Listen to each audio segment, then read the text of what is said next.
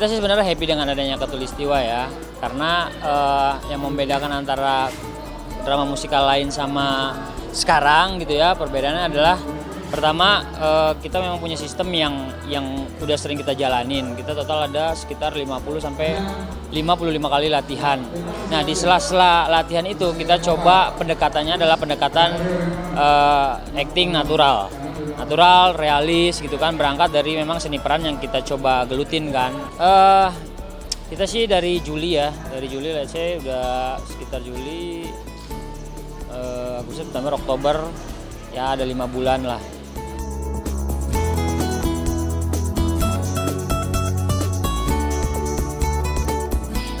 Ya, ke, dari tim directing sebenarnya kita dipecah dua. Satu uh, Bang Haji sama Empi tugasnya yang flashback di mana dia nanganin orang-orang dewasa kan.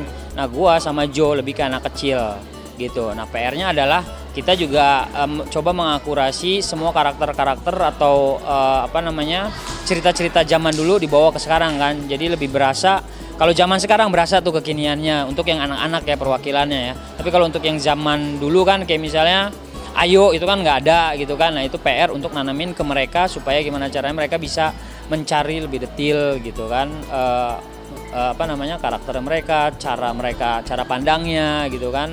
Terus cara berkomunikasinya itu kan harus benar-benar pas ya sama uh, cerita yang ada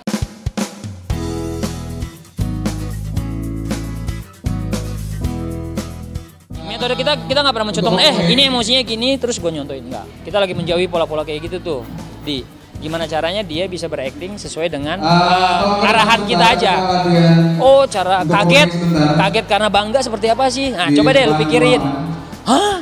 Nah kan akan berbeda jatuhnya. Kan itunya sih yang menurut gua agak susah ya. Gitu karena anak-anak ini pada baru semua acting di di drama musikal. Anak kecil ya terutama ya. Karena garapan gua kan anak kecil